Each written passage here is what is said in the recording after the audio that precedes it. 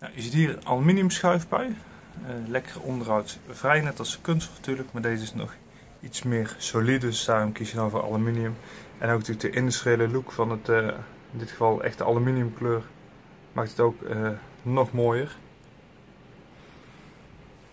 En natuurlijk gewoon goed uitgerust met dubbel glas. Op zich een redelijk eenvoudig sluitmechanisme met hier nog een nachtschoot. Zodat je hem ook gewoon echt goed dicht kan doen.